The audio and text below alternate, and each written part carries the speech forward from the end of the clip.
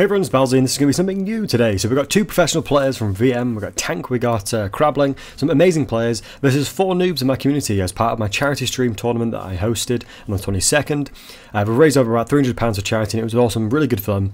Uh, but we've got uh, large funds for the professional players, so they have uh, 12,400 each, and the new players uh, have 7,000 each. So let's see how this battle goes, and let's jump into live commentary. Uh, but yeah, we've got, like I said, we've got an insane uh, roster coming up here. We've got four players going into two pros. I'm really looking forward to see what happens. Um, it is going to be an absolute banger. What I'm going to do is take that off so we can make this into a tuber. How much has done it so far? Um, I don't think we're close to. Um, look, because with the gifted subs and all that kind of stuff, we've got uh, like about a hundred ish pounds. So if you donate through Til- Tiltify, um, exclamation mark charity. Um, I will probably have to try uh, another hot sauce soon enough. Pro- pros will wipe the floor, I bet. You think? What do you guys think? And uh, agent, thank you.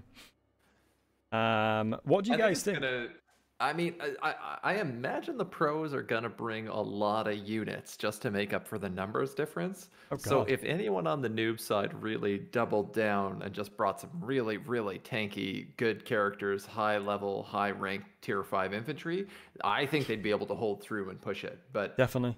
I think we're gonna see just like a big number swarm versus a big number swarm here. Yeah, I mean, fair enough. It's f- funny enough, um, the noobs are outnumbered by three to one. Uh, so you're completely right. The allied force of the professionals have gone very, very, very wide to try and take advantage of the fact that they um, they have a little bit more cash per player.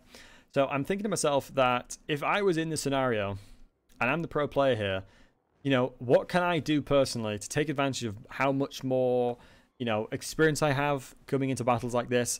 You know, I've got the the macro to boot. Um, you know, it's slightly disjointed. You know, one thing I will say is the the the, the noob side they're slightly disjointed, and like Sangu rightfully mentioned, we need these guys as you know conformed and ready to go, fighting as a fighting force here. But we'll see. We- We'll definitely see. And Jim, you are correct. You know, they definitely have the advantage because they've got separate you know, magic pool differences. Um, they've got a lot more resources they can kind of um, use. We can see the balance of power is definitely in the uh, the noob side. It's just gonna be interesting to see how they play it out. Uh, what we will do is um, uh, start when ready. With the pros, it is Crabling and Tank, I believe. These guys are uh, some in- insane players from uh, Moves, thanks, dude, from the VM clan. Uh, if you do mark pro, I believe Crabling has a YouTube channel right there. These guys, I think Crabling is the current Russian champion uh, of all, pretty much of all Russia. He's the, he's the best of the best. And then Tank is a, a long-standing veteran. So these guys are exceptionally good players. Like they are, you know, some premium players to come in against. And if anyone else wants to play against them, by all means, we can we can arrange that one. But I, I will have to just you know speak with them and see how many they can do because I know they're in Russian time. So uh, I think it's a, it's getting a little, little bit later on. Just won all Russian Invitational Championship, and there you go. This guy's this guy knows what he's doing. This guy certainly knows what he's doing.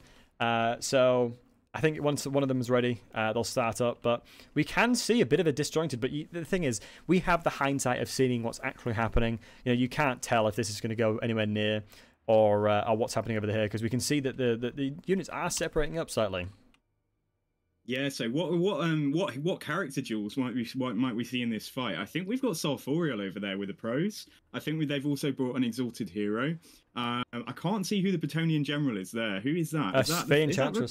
Oh, hold on, sorry, mate. Uh, let me share my screen. Bring in a bring in the two paladins as well. Yeah, that's a very common choice because obviously they bring the um yeah the kind of protection, the guardian uh, aura. That So yeah, paladin no, doesn't I'm, I'm it really though. excited to see what's going on.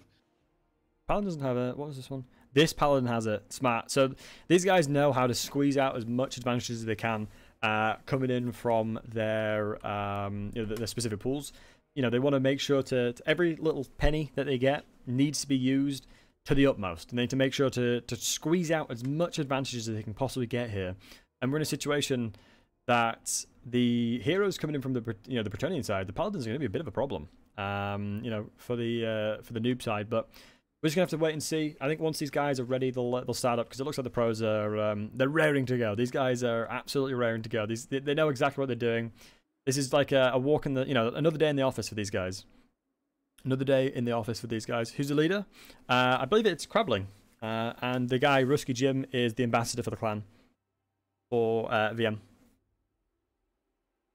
So it's fascinating to see the just like the layout of the professionals and how they do it. This kind of like Yeah. staggered line of the dogs. You know, they've got Yeah, all the at great this. weapons spaced in this perfect checkerboard formation, and then you know the archers all lined up. It, it, it's it's it's good to see this kind of thing, and so that even the noobs can kind of look at this afterwards and go like, oh, okay, this is the right way to lay out a line in multiplayer. Absolutely. You know, we can see in these scenarios, you, if you don't know where you're against, and you kind of go with a checkerboxed in a a situation, you know, you reduce the amount of damage that can possibly happen to your units. And, you know, generally speaking, you're going to expect a little bit of artillery coming in. And, you know, by having these guys as wide as they are, um, it effectively reduces the impact of what that artillery is actually able to uh, to perform. And we can see it's that we've overwhelming. Yeah, it's overwhelming. Like, I mean, where, how do you pick Jesus. your choices when you're just faced with this many targets? Um, Yeah, it how, is How do you work out what the priority is? And we've got a flank coming in. We've got these dogs coming in for the flank. You know, we've got nobody that can really stop that. So we need to see Warlord kind of pull units back. But we do have anti-Brown. But the thing is, when you've got um, multiple jobs within an army, it's very difficult to know exactly what you need to do in this situation because you've got so much to look out for. There's so many things that you need to keep your eye on. Will Anti Brian be able to react accordingly? You know, keep these guys protected, and we can see the Sisters is doing a significant amount of damage. We can see this Exalted Hero from Tank has taken a considerable uh, amount of damage here. That's quite worrying to see because the leadership is, is kind of dancing around. But uh, the Exalted Hero effectively is just wanting to put pressure onto the Sisters as much as possible to stop them from kind of taking over the map because the Sisters have options to do uh, anti-large shots, so singular shots, or they can do kind of like an AoE shot into infantry. And due to the fact that we can see uh, a considerable amount of units from the professional side, you know, we're in a situation where do we need to actually invest further um, into the getting sisters killed, or you know what's going on here? And we can see, yeah, you're right. The dogs actually have been caught out slightly, and they are reacting accordingly. But we can see Crabling has ran. Uh, yeah, they're working together exceptionally well. Tank and um, are kind of interacting and ducking and weaving between where they need to kind of be, and we can see the the hell cannon's already being shut down. Um, look at this. The sisters and the oh my god! Imagine being these people. It's like help, send Flying- help, please. Is, is an incredible choice. You know, instead of Yeah. going for ranks on all of his units, he said, "I'm going to spend that money on, on putting my heroes on flying mounts, so that they can really just shut down and control the map." Yeah, absolutely, absolutely. And we're seeing. Oh wow, you're right. Yeah, That's a- was that a Southall the comet when it went Everwatcher. Interesting to see. I don't believe. Yeah, Sarthorael is not the one that you need to kill. I think the three you need to kill to kill the chaos, uh, the, the the second chaos invasion.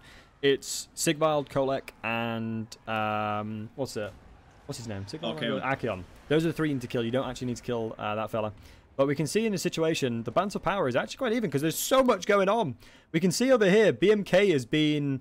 Ooh, this is a pretty disastrous situation potentially for, for BMK with his archers here. Let's hope that he can kind of kite around with the Way Watchers and, and keep doing that pressure where he needs to. But it looks like, you know, the mobility of these units coming through, you know, the Bretonnian cavalry is so difficult to keep in mind, you know, to, to remember Yeah. about. But just look at the sheer amounts of things just going on on the screen. It's difficult to know where to be. You know, Crabling is controlling these units over here. He's ensuring he's, ta- he's attacking the right target. He made sure to send his melee, you know, the range units to protect against uh, anything kind of threatening them there. You know, BMK is actually doing okay down here. You know, there's not enough uh, threats on the Bretonnian side to actually lock these guys down and do the damage that needs to happen. And there is just so much to go on. I mean, I, I can't imagine what these pros are thinking because there's just so much they actually need to take control of and, and just think about. You know, we've got some units in reserve. That's one thing that's actually quite um, a common thing to happen in professional play. They do not invest all units at once. You know, they have those guys in reserve that need to be in reserve. And we can see the Chaos Warriors have gotten slaughtered. You know, the terror routes coming through. And um, we can see that there's a lot of units effectively under pressure. I mean, we're the Bretonnians right now, Agent. You know, how do you keep the pressure up? And you can see a Treeman is coming in thick and fast. This this concentrated fire is exactly what you do. He's had all of these units spaced out, so they're getting hit by heroes, but only one's ever being occupied at a time. And then all four, all five of them who aren't engaged are all dumping arrows into single units. Um, it's it's it's quite good. He's and he's had a tricky time. He managed to respond to the Way Watchers in the back, but the Knights did take a lot of damage having to, to deal with that backline threat. Absolutely. The thing that scares me the most is like the the Bowmen have so bad leadership and terrible AP damage. So you know, shooting something with 110 armor. I mean, they are eventually whittling it down, but we can see even this unit with 20 leadership is routing. You know, we want to make sure that they don't actually end up losing all of their units, but we can see the you know the from from routes. So we will get shatter and ETS thanks somebody. Uh, we'll get shatters if they if they route three times in a row, and we can see that the, the sheer numbers of the um, the the uh, the pro players here is is kind of getting to the point where it's overwhelming and it's actually becoming into their favor here.